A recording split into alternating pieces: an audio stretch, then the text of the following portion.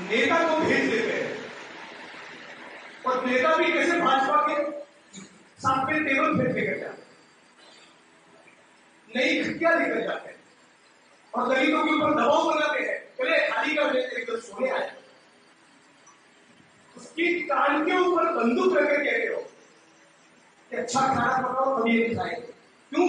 दिल्ली से फ़ोन है। मोदी जी, शर्म करो। इस देश की जनता आपको पहचान चुकी है। गुजरते हुए हर दिन के साथ यहाँ की गरीब जनता आपको पहचान रही है। पूना में दलितों का चमड़ा उठेना रोहित वेमुला की संस्थानिक हत्या की गई। भीम वाल्मीकि चंद्रशेखर रावल को जेल में डाल के रखा है। यूपी के सहारनपुर में घर चलाए।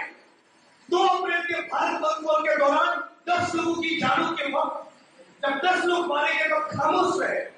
सौ हज़ार कपड़े नहीं। मोदी जी के चार साल के शासन के दौरान इस देश की बैंकों में कितने तेईस हज़ार कपड़े हुए और नब्बे हज़ार करोड़ का फ्रॉड हुआ। छप्पन के सीने वाले चौकीदार चौकीदार नहीं, चोर नंबर वन हो